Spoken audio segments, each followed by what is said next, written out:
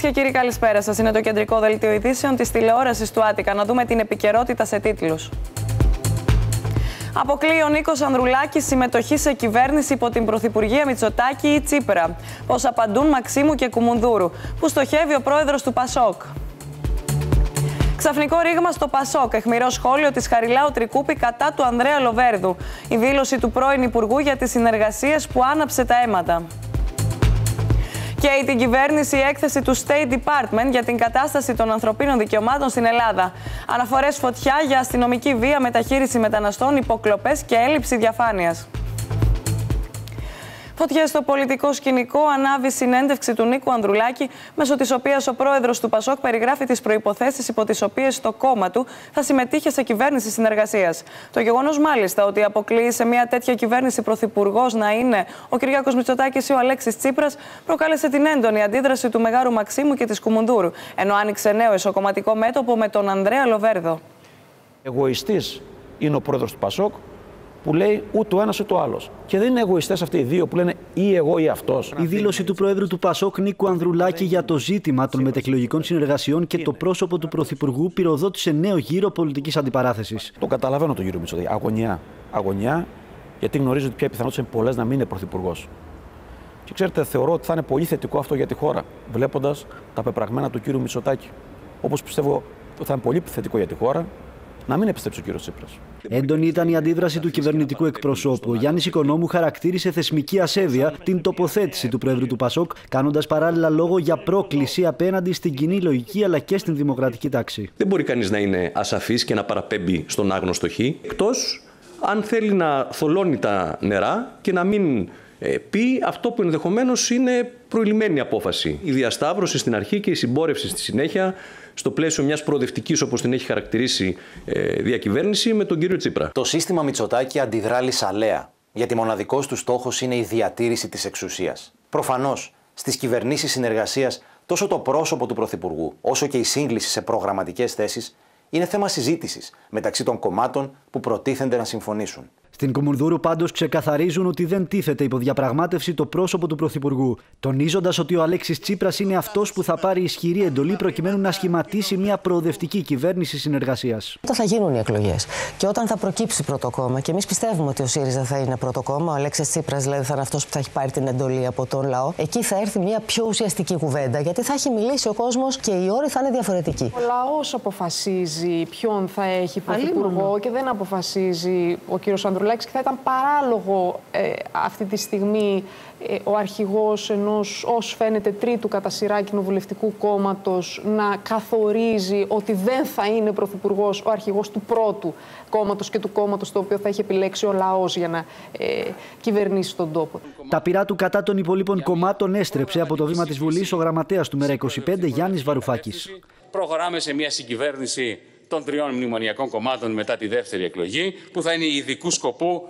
Στο δρόμο προς τις κάλπες, πάντως, το πολιτικό θερμόμετρο αναμένεται να ανέβει στα ύψη.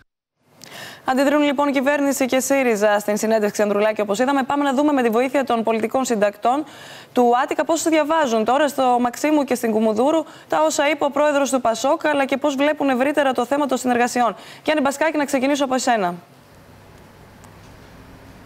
Κατερίνα στο Μέγαρο Μαξίμου εξαπολύουν μύδρος κατά του κύριου Ανδρουλάκη, τον ε, κατηγορούν για θεσμική ασέβεια και χαρακτηρίζουν ε, την, ε, την τοποθέτησή του πολιτικά εξωφρενική.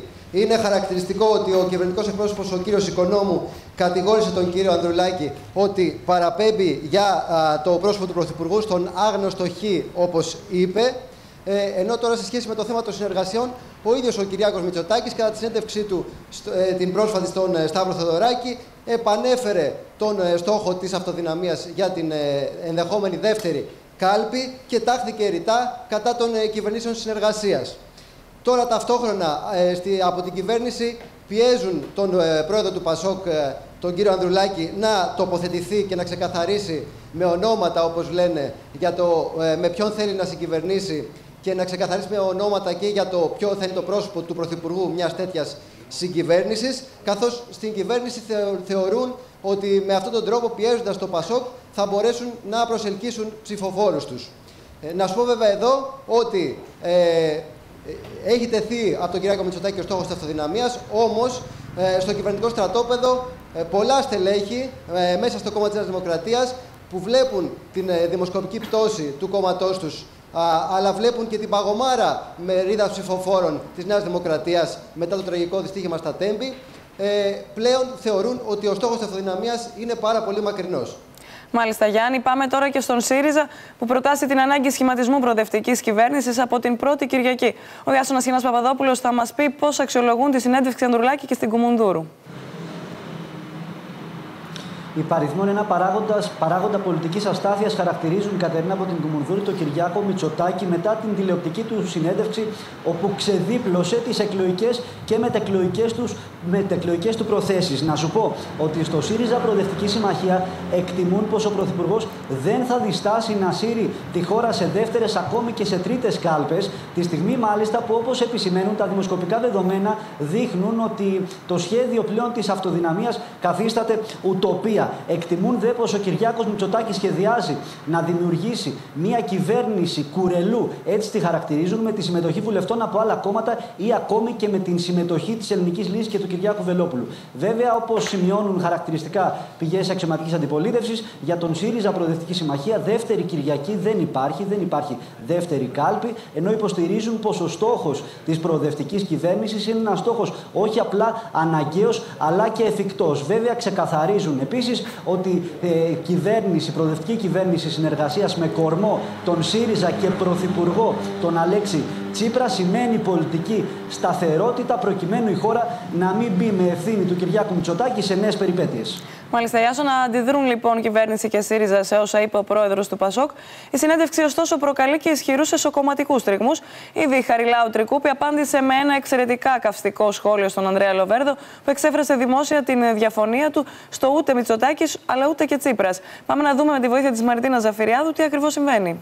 Καλησπέρα, Κατερίνα. Όλα ξεκίνησαν όταν ο Ανδρέας Λοβέρδο σήμερα σε ραδιοφωνική του συνέντευξη είπε ούτε λίγο ούτε πολύ ότι όταν πηγαίνουμε σε κάλπες και απορρίπτουμε πρόσωπα, θα πρέπει να προτείνουμε και συγκεκριμένα πρόσωπα προκειμένου οι πολίτες να έχουν ξεκάθαρη εικόνα. Και όλο αυτό ακούγεται πολύ κοντά στην κοινή λογική. Έρχεται όμως λίγες ώρες μετά από τη συνέντευξη του Νίκου Ανδρουλάκη χθες το βράδυ στην ΕΡΤ, στην οποία είχε θέσει συγκεκριμένες προποθέσει υπό τις οποίες θα έμπαινε σε ένα κυβερνητικό σχήμα την επομένη των εκλογών. Μεταξύ αυτών ήταν να μην είναι πρωθυπουργοί ούτε ο κύριος Τσίπρας ούτε ο κύριος Μητσοτάκης. Ήρθε όμως αυτή η κριτική και λίγες ώρες μετά την έντονη κριτική με τα ίδια περίπου λόγια από τον κύριο Σκέρτσο και τον κύριο Οικονόμου, από δύο κυβερνητικούς παράγοντες. Και εκεί είναι που εξανέστησαν στη Χαριλάου Τρικούπη και απάντησαν ότι είναι τουλάχιστον πολιτικά παράδοξο ο κύριος Λοβέρδος να έχει τις ίδιες αγωνίες με τον Γιάννη Οικονόμου και τον Άκη Σκέρτσο. Ως τώρα η μάχη φαίνεται να έχει λάβει τέλος. Η μάχη όμως και όχι ο πόλεμος, ο οποίος έχει ξεκινήσει σε προεκλογικό χρόνο και όπως χαρακτηριστικά λένε στη Χαριλάου Τρικούπη, το σημερινό είναι μια κίτρινη κάρτα προς τον Ανδρέα Λοβέρδο. Θα δούμε αν θα έρθει και η κουτί. Ναι, Μαριτίνα, να σας ευχαριστήσω και τους τρεις. Ανοίγει λοιπόν η συζήτηση για τις κυβερνήσεις συνεργασιών. Κοντά μας είναι ο Γιώργος Κουδαλάκη. Καλησπέρα, Γιώργο. Καλησπέρα. Για να δούμε μαζί του αυτό το νέο πεδίο που διαμορφώνεται, Γιώργο. Τώρα, το γεγονός ότι συζητάμε για συνεργασίες σημαίνει ότι Μας τελείωσαν οι αυτοδυναμίες. Είναι έτσι; Θα έλεγα ότι αν υπήρχαν αμυδρές ελπίδες για να υπάρξει αυτοδυναμία, ε, αυτές οι ελπίδες έχουν μετατεθεί τουλάχιστον για δεύτερες εκλογές και βλέπουμε κάτι που προκύπτει εξάλλου και με τις συζητήσεις με τα πολιτικά στελέχη που έχουμε.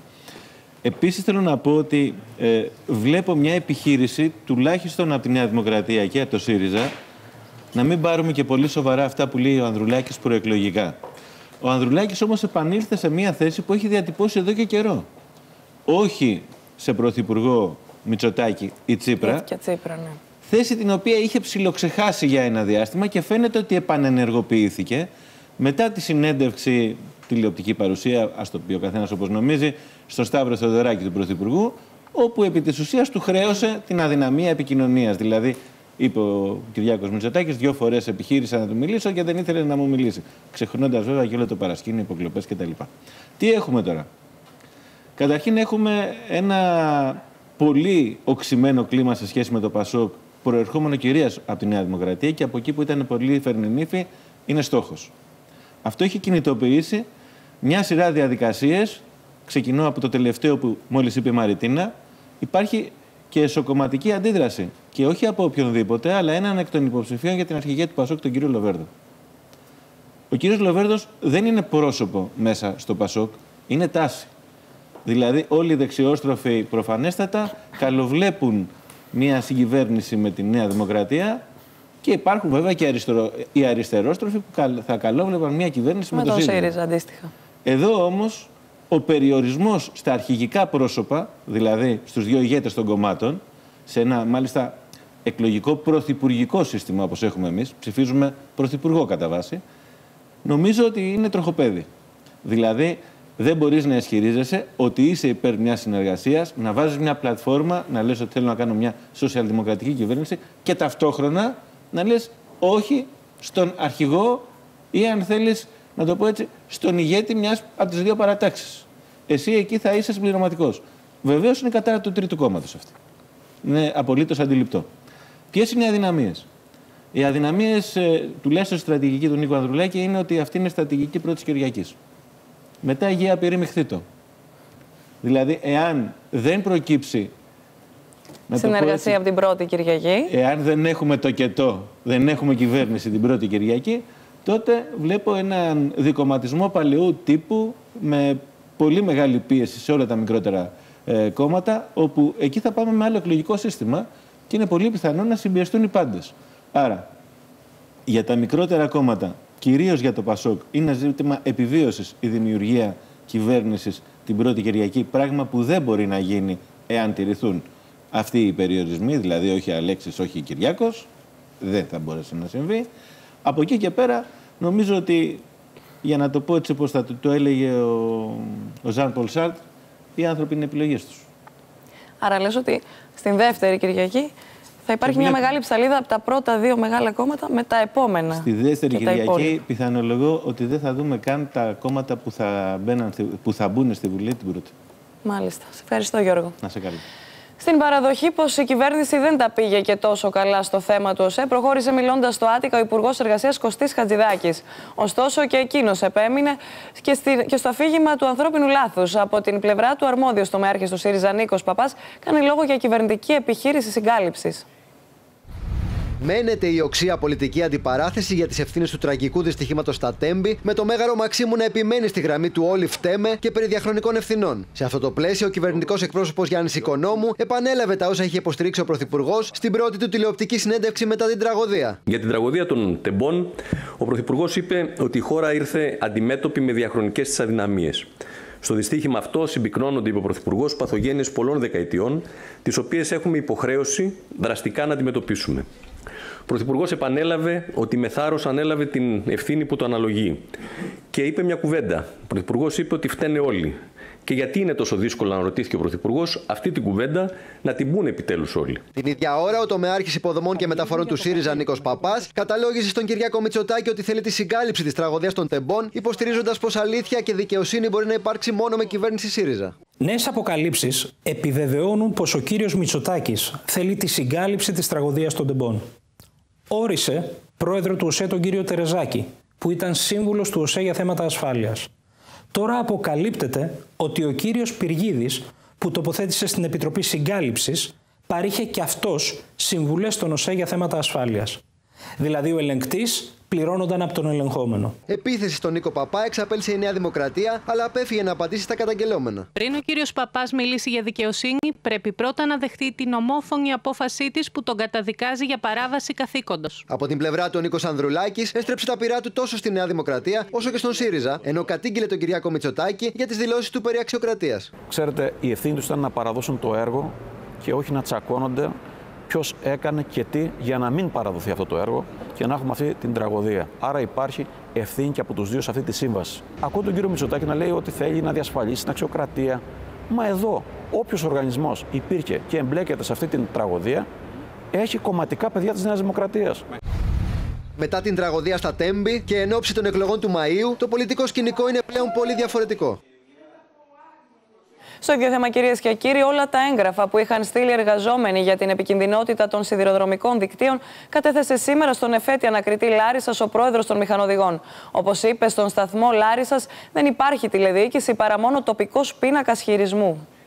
Επί μια μισή ώρα κατέθεται σήμερα ο πρόεδρος του Σωματείου Μηχανοδηγών ΟΣΕ, Κώστας Γενιδούνιας, προσκομίζοντας όλα τα έγγραφα και τα εξώδικα που είχαν στείλει εργαζόμενοι με τα οποία προειδοποιούσαν για την επικινδυνότητα των συνδυροδρομικών δικτύων προμηνών. Ο πρόεδρος των Μηχανοδηγών ήταν ένας από τους τρεις που πέρασαν σήμερα το κατόφλι του εφέτη ανακριτή που συνεχίζει την έρευνα για τις ευθύνες για το δυστύχημα των τεμπών. Μαζί του κατέθεσαν σήμερα και ο πρόεδρος του Επιχειρησιακού Σωματείου Εργαζομένων της Hellenic Train, Νίκος Λάζου και ο πρόεδρος της Πανελλήνιας Ομοσπονδίας Σιδηροδρομικών, Γιάννης Τίτσας. Σύμφωνα με πληροφορίες, ο Κώστας Γενιδούνια, κατά τη σημερινή του κατάθεση, επεσήμανε ότι στο σταθμό Λάρισας δεν υπάρχει τηλεδιοίκηση παρά μόνο τοπικός πίνακας χειρισμού. Στην ανυπαρξία συστήματος τηλεδιοίκησης στη Λάρισα αναφέρθηκε κατά τις ίδιες πληροφορίες και ο πρόεδρος του Επιχειρησιακού Σωματείου της Hellenic Train, Νίκος Λάζους, στη σημερινή του κατάθεση. Σε αυτή φέρεται να έχει επίσης υποστηρίξει ότι από το 2000 και μετά θα έπρεπε να έχουν γίνει πάρα πολλά έργα που να συντείνουν όλα στην ασφάλεια του σιδηροδρόμου, τα οποία όμως δεν έγιναν. Αύριο είναι προγραμματισμένο να απολογηθούν μετά την προθεσμία που έλαβαν την προηγούμενη εβδομάδα οι δύο σταθμάρχες. Σε βάρος των δύο σταθμαρχών έχουν ασκηθεί οι ίδιες διώξεις με τον προφυλακισμένο 59χρονο σταθμάρχη, δηλαδή αντιμετωπίζουν το κακούργημα της διατάραξης ασφάλειας συγκοινωνιών, από την οποία προέκυψε θάνατος, καθώς και τα αδικήματα των ανθρωποκτονιών και σωματικών βλαβών κατά συρροήν, που είναι πλημελήματα.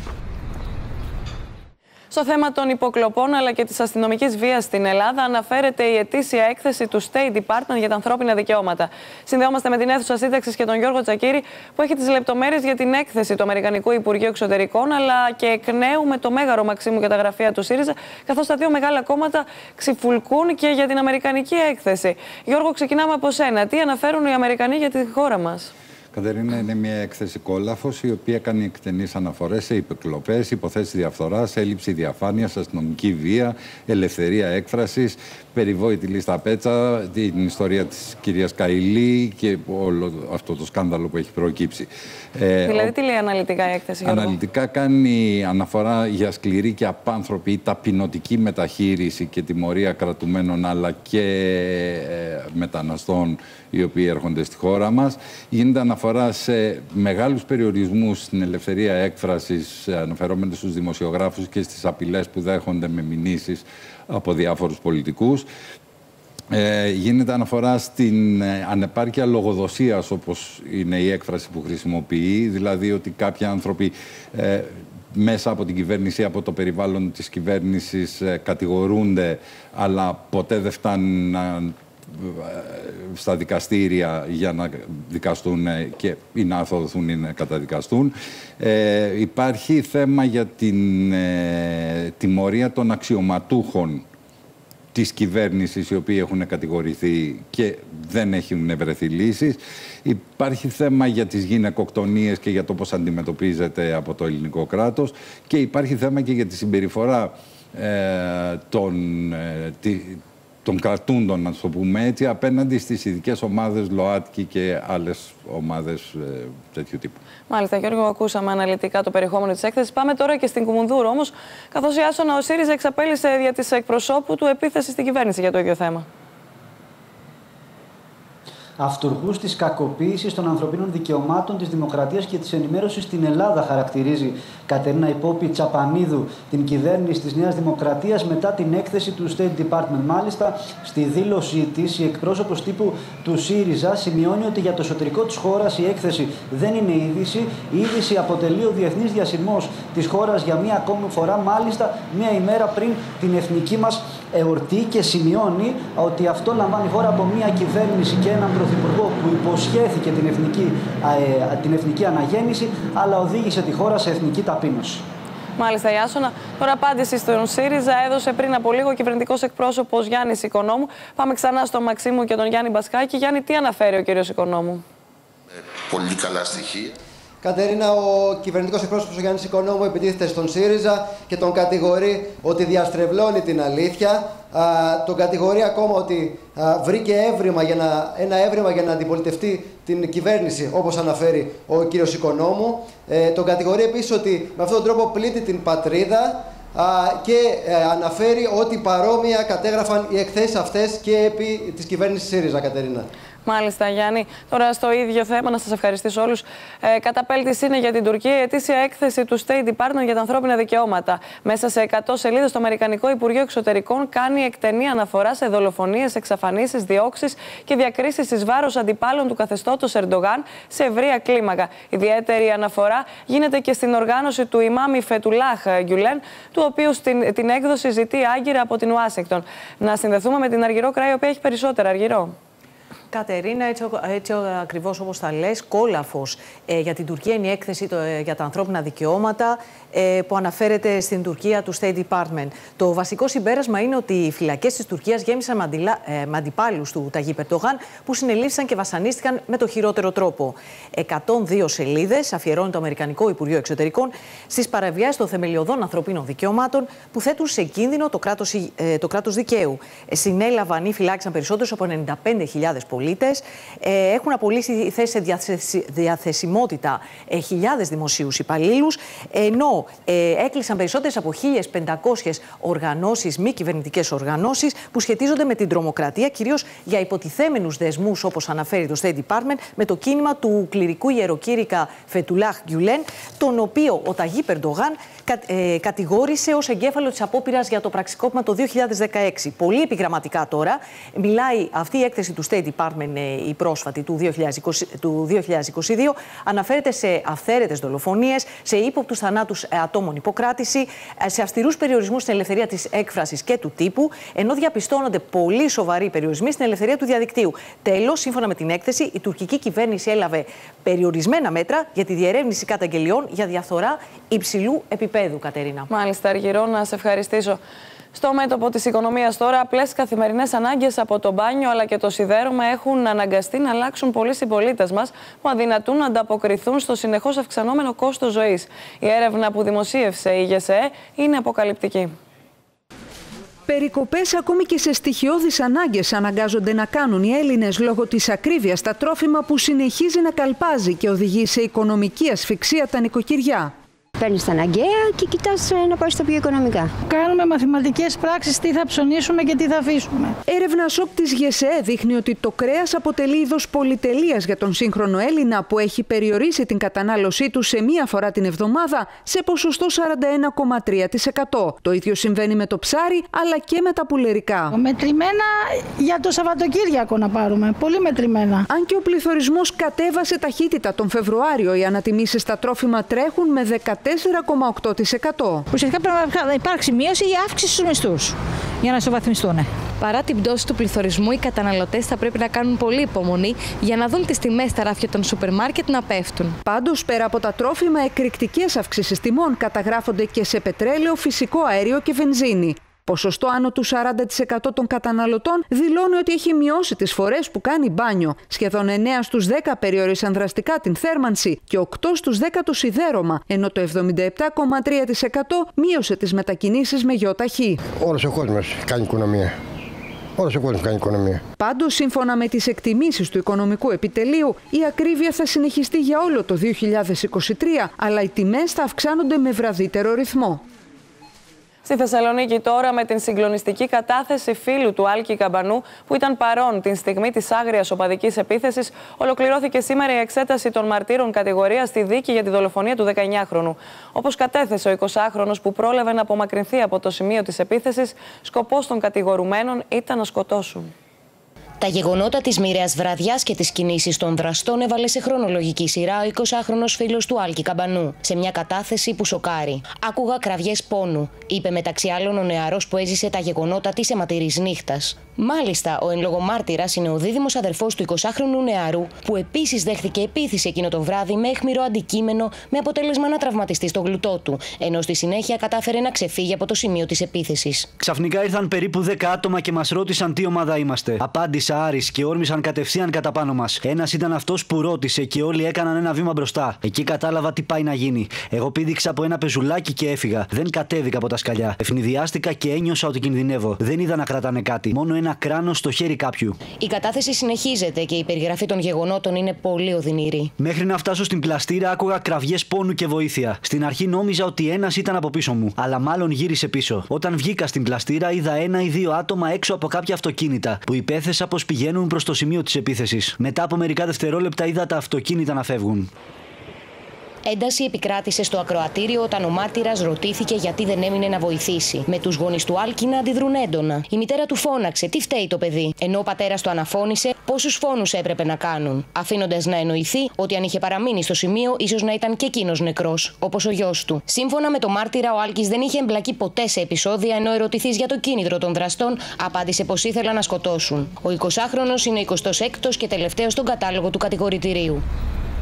Σοκάρουν οι αναφορές των θυμάτων του δασκάλου πολεμικών τεχνών που κατηγορείται πως βίαζε επί σειρά ετών πέντε ανήλικα κορίτσια που παρακολουθούσαν το μάθημά του. Νέα στοιχεία έρχονται στο φως για τη δράση του 44χρονου προπονητή πολεμικών τεχνών που κατηγορείται ότι βίαζε με βάναυσο τρόπο τουλάχιστον πέντε ανήλικες αθλήτριές του στο σπίτι του αλλά και σε ειδικά διαμορφωμένο χώρο στον ημιόροφο του Αθλητικού Συλλόγου στην Λιούπολη. Οι περισσότεροι από όσους τον γνώριζαν υποστηρίζουν πως η συμπεριφορά του δεν είχε κινήσει υποψίες, καθώς φρόντιζε να κερδίζει την εμπιστοσύνη τόσο των αθλητριών όσο και των οικογενειών τους. Είχε κερδίσει τόσο πολύ την εμπιστοσύνη μας και δεν είχε κερδίσει τόσο πολύ, ήταν άριστος το να κρύβεται φανερά. Έμπαινε στο σπίτι του, στο σπίτι μου, πήγαινα σε γιορτέ του, ήταν κοινωνικότατος σαν άνθρωπος. Δεν μας είχε δείξει κάποιες ενδείξεις ε, τέτοια συμπεριφοράς. Δηλαδή δεν μετακινόταν κρυφά με τα κορίτσια. Γύρναγε μέσα στην Ηλιούπολη. Πάντως ο εφιάλτης των θυμάτων του, σύμφωνα με την αστυνομία, φαίνεται πως άρχισε το 2009, όταν ο 44χρονο εκμεταλλευόμενος την ιδιότητά του έπιθε τις ανήλικες να ενταχθούν στο αγωνιστικό τμήμα και να παρακολουθούν ατομικές προπονήσεις. Σύμφωνα με αστυνομικές πηγές, αφού τις αποπλανούσε και τις βίαζε, τους έλεγε «Εάν μιλήσετε για αυτό που έγινε θα αυτοκτονήσω». Τα κορίτσια είναι αναφέρονται στο χρονικό διάστημα από τα 13 τους έως τα 16 τους, επομένως καταλαβαίνετε ότι ο χρόνος στον οποίο αναφερόμαστε ε, πηγαίνει αρκετά πίσω και έχει φυσικά και μία χρονική διάρκεια. Δεν ήταν μια φορά και έξω και έναν εξακολουθητικό, ένα διαρκή χαρακτήρα. Ο δικηγόρος τριών εκτοθυμάτων, μιλώντας στο Άτικα, εξήγησε ότι το νήμα της υπόθεσης άρχισε να ξετυλίγεται όταν τα κορίτσια ενήλικα πια εμφανίστηκαν στο γραφείο του. Η, η όλη υπόθεση ξεκίνησε όταν ε, ήρθαν οι τρει κοπέλε, τρει ήδη καταγγέλου που προβάλαμε τη μηνυτήρια αναφορά. Κορίτσια βρήκαν τη δύναμη να προχωρήσουν σε αυτή τη διαδικασία του να κάνουν δηλαδή τη συγκεκριμένη μήνυση. Υπευλήθη 19 Ιανουαρίου του 2023. Σε έρευνα πραγματοποιήθηκε στο σπίτι του, στα οχήματά του, καθώς και σε χώρο της σχολής βρέθηκαν και κατασχέθηκαν τρία κινητά τηλέφωνα, δύο τάμπλετ, τρία λάπτοπ, σκληρός δίσκος και κάρτα μνήμης. Σε βάρος του 44χρονου ασκήθηκε ποινική δίωξη για βιασμό κατά συρροή, κατάχρηση ανηλίκων σε ασέλγια, παραβίαση προσωπικών δεδομένων, προμήθεια και κατοχή ναρκωτικών. Ο προπονητής θα περάσει αύριο το κατόφλι του ανακριτικού γραφείου για να απολογηθεί. Τώρα, κυρίες και κύριοι, η οικιακή βοηθός κατάφερε να πείσει τις δύο γυναίκες για τις οποίες εργαζόταν ότι έχει υπερφυσικές δυνάμεις και τους απέσπασε τεράστιο χρηματικό ποσό. Τις λεπτομέρειες για την υπόθεση έχει ο Αδάμ Αλεξόπουλος. Αδάμ, τι είδους υπερφυσικές δυνάμεις; Κατερίνα, όλα ξεκίνησαν πριν από σχεδόν 7 χρόνια. Όταν μια 57χρονη σήμερα γυναίκα μπήκε στο σπίτι της οικογένειας ως οικιακή βοηθός. Η 57χρονη, όπως είναι φυσικό, απέκτησε οικειότητα με το χρόνο με την μητέρα 68 ετών σήμερα, αλλά και την 39χρονη κόρη.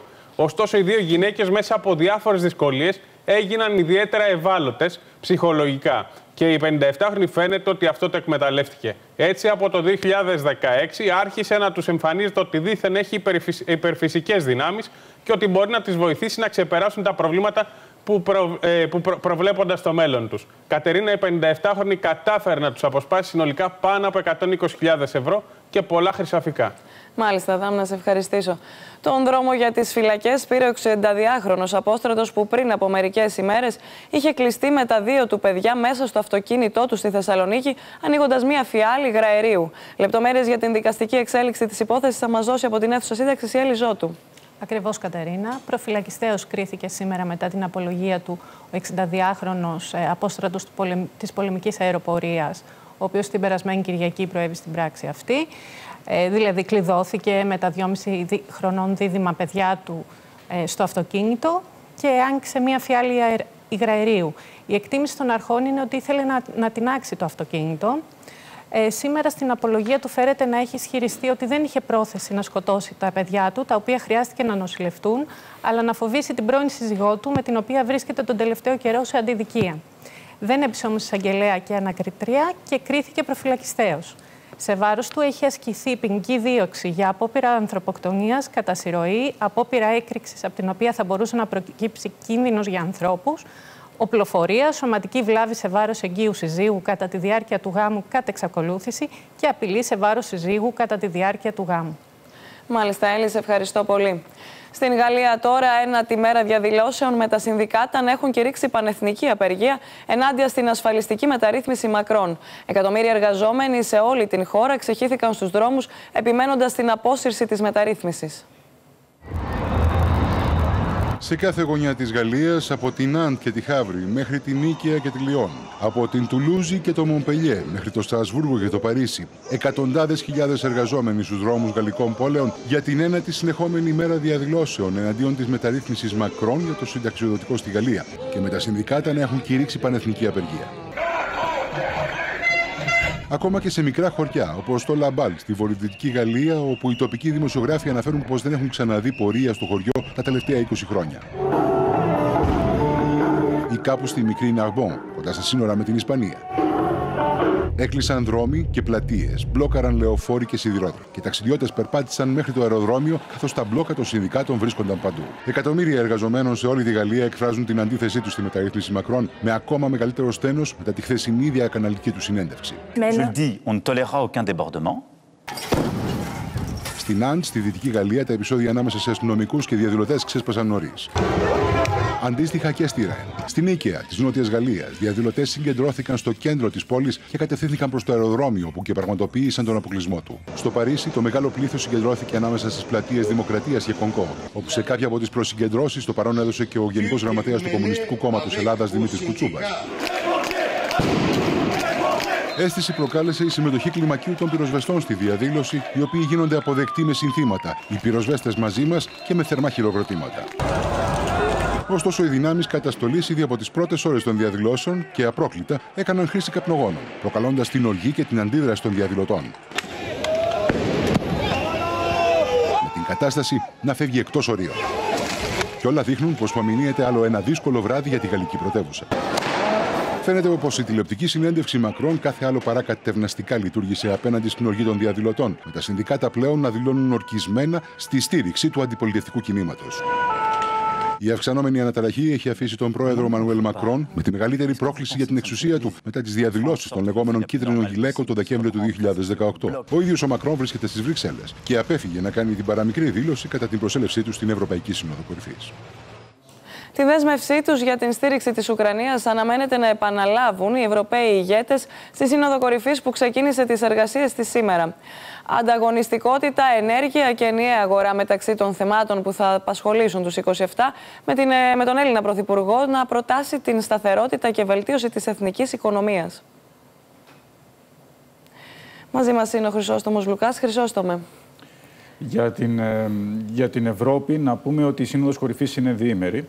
Ε, δεν περιμένουμε τελικές αποφάσεις πλην τη ε, συμφωνίας της ευρύτερης ότι οι 27 θα συνεχίσουν να στηρίζουν την Ουκρανία για όσο ακριβώς χρειαστεί. Και αυτό μπορεί να περιλαμβάνει και τις κοινές αποφάσεις για παραγωγή οπλισμού, οπλισμού που χρειάζεται η Ουκρανία. Αυτό τουλάχιστον ακούσαμε σήμερα από τους Ευρωπαίους ηγέτες. Τώρα για, τις, για τα άλλα τα ζητήματα, για παράδειγμα ε, για την οικολογική διάσταση που είναι και αυτή ένα μεγάλο μέρος της συζήτησης, τουλάχιστον ε, στα, στα, στο μεγάλο τραπέζι που θα, που θα έχουμε αύριο, αν δεν κάνω λάθος. Mm δεν φαίνεται ότι θα έχουμε συμφωνία μέσα στο 48 ώρο της Συνόδου Κορυφής. Γι' αυτό γιατί υπάρχει μεγάλη διαφωνία μεταξύ της Γαλλίας και της Γερμανίας για το μέλλον της μηχανής εσωτερικής καύσης, όπως λέγεται, για τα αυτοκίνητα. Αυτό θα το δούμε. Οι υπόλοιποι θα επικεντρωθούν πέρα από την Ουκρανία σε ζητήματα της ανταγωνιστικότητας και της ευρωπαϊκής οικονομίας. Μάλιστα, Χρυσόστομε, θα τα δούμε όλα αυτά και στο βίντεο που θα ακολουθήσει και επανέρχομαι μετά σε εσένα. Ξεκίνησε τις εργασίες της Ευρωπαϊκή Σύνοδος Κορυφής σε σκιά του συνεχιζόμενου πολέμου στην Ουκρανία αλλά και των πρόσφατων χρηματοπιστωτικών αναταράξεων. Στο τραπέζι της Συνόδου, οι ευρωπαϊκές δεσμεύσεις προς το Κίεβο αλλά και θέματα τόνωσης της οικονομίας, της ανταγωνιστικότητας και ενιαίας αγοράς. Ειδική αναφορά στην σταθερότητα των ελληνικών τραπεζών έκανε ο Έλληνας Πρωθυπουργός Κυριάκος Μητσοτάκης. Θέλω να τονίσω ότι η άλλη όψη του νομίσματος της πρόοδου που έχουμε κάνει τα τελευταία χρόνια είναι ότι οι τράπεζε μας είναι πια ισχυρές. Και μπροστά στην ε, παγκόσμια χρηματοπιστωτική καταιγίδα, η οποία ξετυλίχθηκε σε εσείς ομάδες, θέλω να διαβεβαιώσω ακόμα μια φορά ε, όλους τους Έλληνες καταθέτες ότι το ελληνικό τραπεζικό σύστημα είναι ισχυρό και ότι οι καταθέσεις τους είναι προστατευμένες. Ο Γερμανός καγκελάριος Όλαφ Σόλτς προτάσει την Ευρωπαϊκή Ενότητα κόντρα στη ρωσική εισβολή στην Ουκρανία και δεσμεύεται για την ευρωπαϊκή στήριξή της. Europäische Union ist geeint, handelt gemeinsam und solidarisch. Das ist etwas, was Putin niemals im Blick hatte, dass die Unterstützung für die Ukraine so geschlossen funktioniert und auch so lange. Und wir sind auch vorbereitet darauf, die Ukraine so lange zu unterstützen. Η Φιλανδία με το κοινό σύνορο με τη Ρωσία είναι από τις χώρες που επηρεάζονται πολύ από την ρωσική εισβολή. We will hope that uh, within near future Finland will become member of NATO. Uh, of course, I want to highlight that Sweden also fulfill all the criteria and they should also uh, become members of NATO very fast. Χωρίς δηλώσεις, ο Γάλλος πρόεδρος αφήνει για λίγο την πολιτική κρίση που έχει ξεσπάσει στη Γαλλία για το συνταξιδοτικό του νομοσχέδιο. Ο Γενικό Γραμματέα του ΟΗΕ, σε συνάντησή του με τον πρόεδρο του Ευρωπαϊκού Συμβουλίου, μετέφερε το δραματικό μήνυμα των επιστημόνων για την κλιματική αλλαγή. The last report of the, international, the Intergovernmental Panel on Climate Change shows a dramatic situation. We are close to the tipping point that will make the 1.5 degrees uh, impossible to achieve. So we need dramatic action. Παραμένει ερώτημα το αν θα βρει ευήκο αότα η έκκληση Γκουτέρες. Η Ευρώπη ακόμα δεν έχει καταφέρει να συμφωνήσει ούτε το μέλλον των μηχανών αυτοκινήτου και δεν αναμένεται να συμφωνήσει στις δύο ημέρες της Συνόδου. Χρυσόστομο Λουκά, επανέρχομαι τώρα σε σένα και στην Γαλλία, καθώς εκατομμύρια Γάλλοι διαδήλωσαν σήμερα στην ένατη πανεθνική κινητοποίηση κατά του συνταξιοδοτικού νομοσχεδίου Μακρόν. Μετά τις δηλώσεις του Γάλλου Προέδρου ότι δεν πρόκειται να κάνει πίσω στην αμφιλεγόμενη μεταρρύθμιση, πολίτες και συνδικάτα δείχνουν πιο αποφασισμένοι από ποτέ να αντισταθούν στην αύξηση των ορίων συνταξιοδότησης. Τώρα βλέπουμε εδώ και πάρα πολλές εβδομάδες τον κόσμο να διαδηλώνει Χρυσόστομε και να συνεχίζεται αυτό, να μην σταματάει, να μην έχει πουθενά όρια.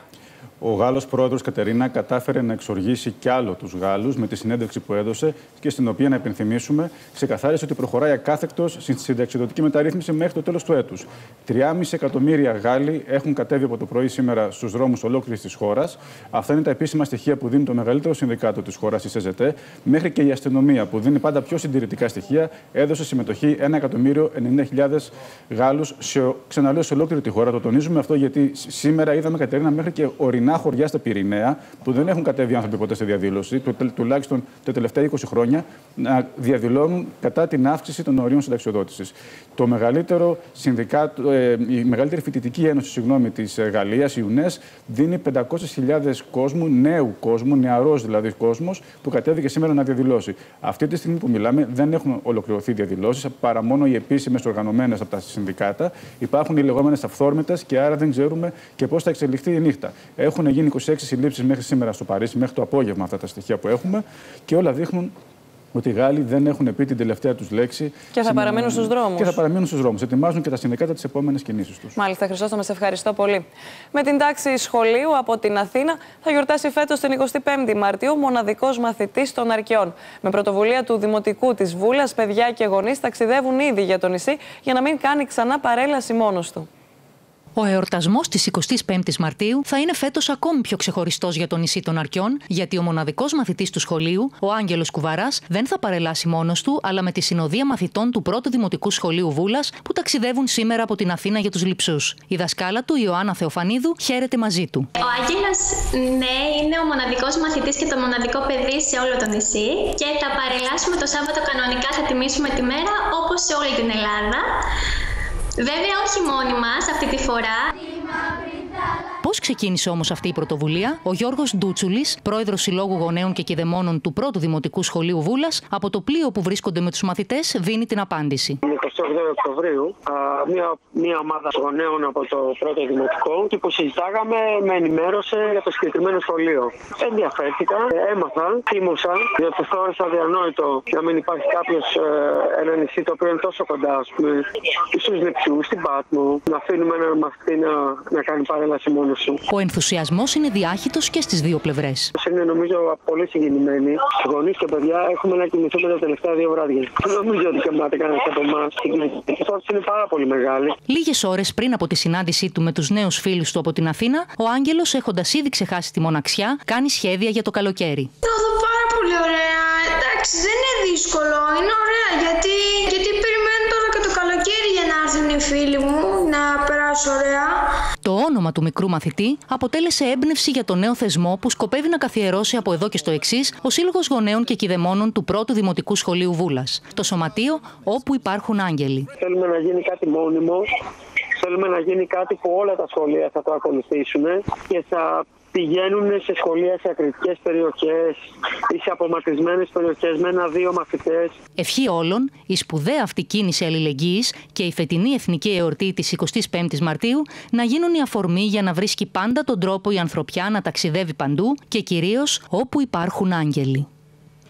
Με λιακάδα και υψηλές θερμοκρασίες θα γίνει στις περισσότερες περιοχές της χώρας η παρέλαση για την επέτειο της 25η Μαρτίου. Έχουμε κοντά μας τον μετεωρολόγο μας Δημήτρη Παπαϊάνου, που θα μας πει για τον καιρό των επόμενων ημερών, Δημήτρη. Καλησπέρα, Κατερίνα. Όντως, με ανοιξιάτικο καιρικό σκηνικό θα γίνει ο εορτασμός της 25η Μαρτίου. Ε, με τις θερμοκρασίες περισσότερο να θυμίζουν τέλη Απριλίου παρά τέλη Μαρτίου. Ε, βλέπουμε ότι θα έχουμε καλοκαιρία στο μεγαλύτερο μέρος της χώρας με λιακάδες και λίγες αραιές νεφώσεις. Η θερμοκρασία θα ανέβει και άλλο. Θα φτάνει τους 20 με 22 στα δυτικά και βόρεια τμήματα της χώρας και στα ανατολικά υπηρετικά ακόμα τους 23 με 24 και στη Σαλία θα φτάνει ακόμα και τους 25 βαθμούς Κελσίου. Ε, οι άνεμοι θα είναι ασθενεί και μεταβλητοί χωρίς να δημιουργούν κανένα πρόβλημα στα πελάγη. Ενώ μόνο αργά τη νύχτα προς τα μεσάνυχτα θα έχουμε τοπικές βροχέ και πιθανώς προαδικέ καταιγίδες μόνο στην Ανατολική Μακεδονία και την Κεντρική και τη Θράκη. Παροδικά φαινόμενα όμως αυτά. Την Κυριακή παρόμοιο καιρικό σκηνικό, λιακάδα σε όλη την Ελλάδα. Πολύ ψηλές για την εποχή, οι θερμοκρασίες παραμένουν, οι θερμοκρασίες πολύ ψηλές, 22 με 24 βαθμούς Κελσίου και λίγες μόνο μπόρες αναμένονται κυρίως γύρω από τα ορεινά της Ανατολικής Μακεδονίας και της Τράκης, ενώ οι άνεμοι θα στραφούν σε βόρειους βορειοδυτικούς και θα ενισχυθούν λίγο στα 4 με 5 και τοπικά εξποφόρου, χωρίς να δημιουργούν όμως κανένα πρόβλημα. Μάλιστα, Δημήτρη, σε ευχαριστώ πολύ. Κυκλώνας βόμβα χτύπησε την Καλιφόρνια με συνέπεια τουλάχιστον πέντε άνθρωποι να χάσουν τη ζωή τους. Η περιοχή του κόλπου του Σαν Φρανσίσκο υπέστησε τις μεγαλύτερες ζημιές από τις σαρωτικές πλημμύρες, ενώ χιλιάδες νοικοκυριά έμειναν χωρίς ρεύμα. Νέο κύμα κακοκαιρίας σαρώνει την Καλιφόρνια, αυτή τη φορά με κυκλώνα βόμβα που έχει προκαλέσει σοβαρά προβλήματα τις αρωτικέ πλημμύρες, τουλάχιστον πέντε άνθρωποι έχασαν τη ζωή τους. Χιλιάδες σπίτια και καταστήματα υπέστησαν ζημιές, ενώ χιλιάδες νοικοκυριά έμειναν χωρίς ρεύμα. Τα πλάνα από το δορυφόρο είναι ενδεικτικά για το πριν και το μετά ολόκληρων εκτάσεων γης που επλήγησαν σε περιοχές της κεντρικής Καλιφόρνια, όπως η κομιτεία του Λάρε, όπου χιλιάδες κάτοικοι αναγκάστηκαν να εγκαταλείψουν τα σπίτια τους. Περίπου 10.000 στρέμματα της κομιτείας του Λάρη ήταν κάτω από το νερό εξαιτίας του χιονιού που έλειωσε, αλλά και λόγω των καταιγίδων. Η περιοχή του κόλπου του Σαν Φρανσίσκο και η κεντρική κοιλάδα υπέσαν τις μεγαλύτερες ζημιές και απώλειες. Τον τελευταίο μήνα, ο κυβερνήτης Γκάβιν Νιούσομ έχει κηρύξει κατάσταση έκτακτης ανάγκης σε 43 από τις 58 κομιτείες της πολιτείας για την παροχή άμεσης ανακούφισης των πληγέντων. Στο Σαν Μπερναντίνο, συνεργεία της πυροσβεστικής διέσωσαν άλογα, αγελάδε, κατσίκες και τάβρους, βγάζοντάς τα από τη λάσπη και μεταφέροντάς τα σε τοπικό καταφύγιο ζώων για εξετάσεις. Σύμφωνα με τους επιστήμονες, αυτό το κύμα κακοκαιρίας ήταν ο 12ο ατμοσφαιρικός ποταμός, όπως λέγεται, από το Δεκέμβριο που σαρώνει τη δυτική ακτή των ΗΠΑ, ο οποίος σχηματίζεται από ένα τεράστιο εναέριο ρεύμα πυκνών υδρατμών που μεταφέρεται στον ουρανό από τον ωκεανό και κατευθύνεται προς την ξηρά με εξάρσεις ισχυρής βροχής και χιονιού. Κινέζοι φοιτητές, εμπνευσμένοι από το lockdown της πανδημίας, κατασκεύασαν συσκευή για εικονικά φιλιά εξ αποστάσεως. Το gadget που θυμίζει ομοίωμα χιλιών κοστίζει 38 δολάρια και ήδη έχουν διατεθεί 3.000 συσκευές, ενώ οι παραγγελίες ξεπερνούν τις 20.000. Ε, να έρθουμε σε εσένα, Αργυρό Κράια, να μας πεις περισσότερα για αυτό το φιλί. Αυτό το gadget, το, περίεργο. Το περίεργο.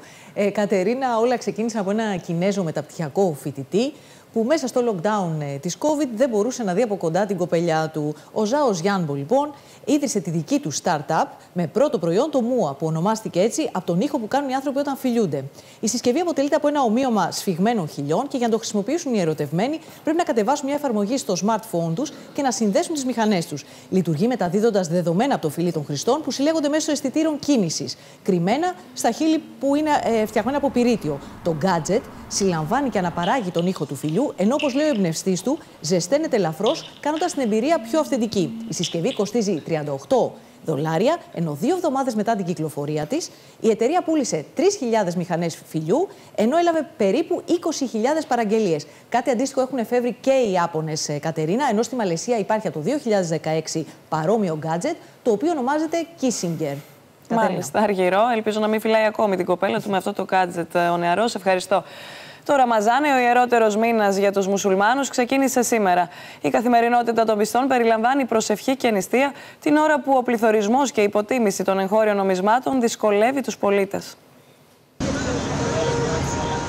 Τα καταστήματα στην Αίγυπτο είναι γεμάτα από αναμένα φαναράκια και διακοσμητικά για το Ραμαζάνι. Οι αγοραστές όμως αποτελούν είδος υπό εξαφάνιση, καθώς οι πολίτες αδυνατούν να ανταποκριθούν στις οικονομικές προκλήσεις εξαιτίας του αυξανόμενου πληθωρισμού και του αδύναμου τοπικού νομίσματος. Στη Συρία, οι πολίτες συγκεντρώθηκαν σε μπαλκόνια και ταράτσες για να παρατηρήσουν το φεγγάρι. Οι μουσουλμάνοι σε ολόκληρο τον κόσμο περιμένουν την εμφάνιση της νέας ημισελίνου, που σηματοδοτεί την επίσημη πρώτη μέρα του Ραμαζανιού. Πρόκειται για τον ένατο μήνα του Ισλαμικού ημερολογίου και τον πιο ιερό μήνα στον Ισλαμικό κόσμο. Οι μουσουλμάνοι νηστεύουν και προσεύχονται κατά τη διάρκεια αυτού του μήνα, προκειμένου με αυτόν τον τρόπο να τιμήσουν την αποκάλυψη του Κορανίου, τα θρησκευτικά κείμενα του Ισλάμ. Κατά τη διάρκεια του Ραμαζανιού απέχουν από τροφή, νερό, από οποιαδήποτε ερωτική επαφή, το κουτσομπολιό και το ψέμα. Το Ραμαζάνι συμπίπτει φέτος με το Πάσχα του Ιουδαϊσμού και το Χριστιανικό Πάσχα. Οι Παλαιστίνοι στην Ιερουσαλήμ, τη Δυτική Όχθη και τη Γάζα στόλισαν καταστήματα και δρόμους με πολύχρωμα φανάρια εν ώψη του Ιερού Μήνα. Καθημερινά συγκεντρώνονται στο Τζαμί Αλάσκα στην Ιερουσαλήμ, η τρίτη ιερότερη τοποθεσία του Ισλάμ. بنحاول نعيش الاجواء لان احنا اوريدي مش جنب اهالينا فبنحاول نحاول ان احنا نعيش في رمضان شويه لان زي ما انت عارف دبي اغلبهم يعني سياحه وكده فصعب ان تعيش توتال الاجواء زي مصر فبنحاول Οι πιστοί πρέπει να καταναλώνουν συγκεκριμένα τρόφιμα κατά τη διάρκεια της νηστείας. Οι τιμέ όμω σε καρικεύματα και ξηρού καρπού έχει εκτοξευθεί. Στο Ιράκ, σε συγκεκριμένα αγαθά, οι αυξήσει τιμών φτάνουν το 500% σε σχέση με πέρυσι, με του ειδικού αναλυτέ να σημειώνουν πω είναι ένδειξη χάου.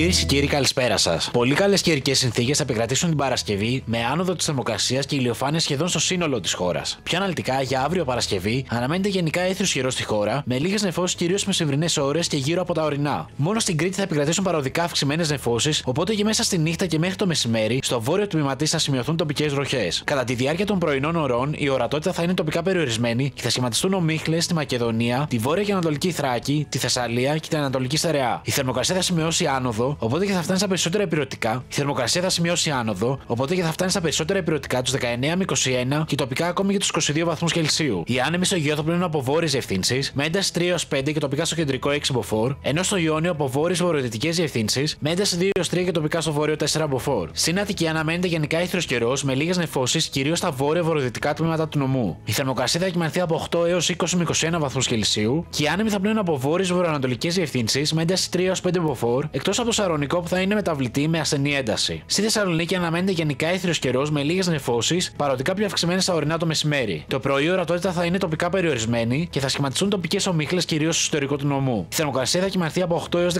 και τοπικά 20 βαθμούς Κελσίου. Οι άνεμοι θα πλέον αρχικά από βόρειες διευθύνσεις, με ένταση 2-3 από φόρ, στρεφόμενοι από το μεσημέρι σε νότιου νοτιοανατολικού, με ένταση 2-4 από φόρ. Εδώ κυρίες και κύριοι, ολοκληρώθηκε το κεντρικό δελτίο ειδήσεων της τηλεόρασης του Άτικα. Ακολουθεί αθλητική σας ενημέρωση και στις 10 η εκπομπή Κάζου Μπέλη. Από όλους εμάς ευχές για ένα όμορφο βράδυ.